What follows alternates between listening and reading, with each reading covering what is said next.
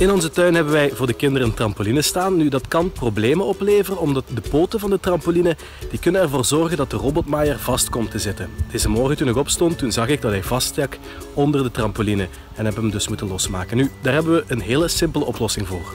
Rondom deze trampoline ligt geen geleidingsdraad. Dit is omdat de trampoline verplaatsbaar is. Rond de vaste constructies ligt deze draad wel, waardoor de automouwer netjes ervoor stopt. Heel simpel, ik ben gewoon naar de houthandel geweest. Ik heb wat planken laten zagen. Op net de afstand die ik nodig heb aan de trampoline. Ik heb een boormachine en tie wraps. En daarmee kunnen we dat heel gemakkelijk oplossen.